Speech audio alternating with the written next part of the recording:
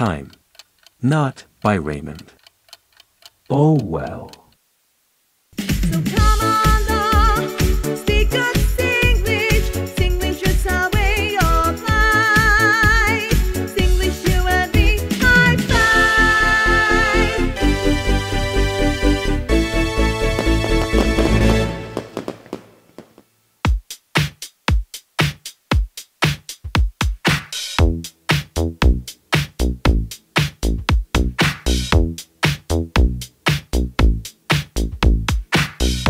Singlish.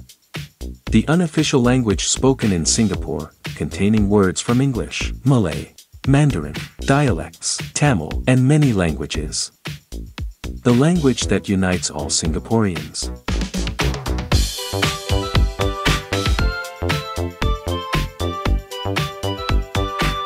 Sir Stamford Raffles and William Farquhar landed on its shores and founded modern Singapore as a trading port in 1819. Singlish is a language that came out of contact between different languages. Prior to independence, the lingua franca of the people was actually Bazar Malay, and the term Bazar Malay literally refers to Malay of the market.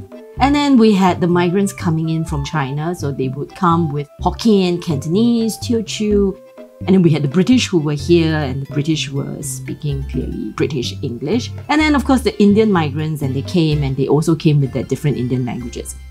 So just imagine that you now have a place where different people with different language backgrounds had to come and work together. given the fact that Singapore is this hub of commerce for the region, so different people pass through Singapore. There are different communities, different language groups, and when you need to talk to someone from a different language, ethnic background, you have to find a middle way. Boleh? Ah, boleh, boleh, boleh. Boleh? Boleh. Uh, ballet? Ballet. Balik. Ballet. Eh, boleh. Ballet. Eh, tak boleh, tak boleh, tak boleh, tak boleh. So we'd like to think about Singlish as coming out of a language ecology, almost like four kids going into the playground with different buckets of bricks. Kid number one has like a full bucket of red bricks. Kid number two has half a bucket of yellow bricks. Kid number three has a third bucket full of bricks. And then poor fourth kid only has one single brick. So when you're going to see this playground and then in this sandbox, you have all these different bricks coming together. So they're going to be mixed. And even at one glance, you can already see that the kid who brought in a full bucket of red bricks is going to be the dominant player because he's got lots and lots of red bricks. And this is how Singlish pretty much came about, where you have different languages of different power and dominance coming together, which clearly the more powerful language will have more input into Singlish. And we can see that in Singlish, say earlier on, where the influence from Hokkien and Malay were far stronger. And now, as English goes through the years, you have more English influence. And that's all a matter of different languages coming together at different times with different levels of power. Pasar. Pasak. Kahwin. Kawing. Tolong. Tolong.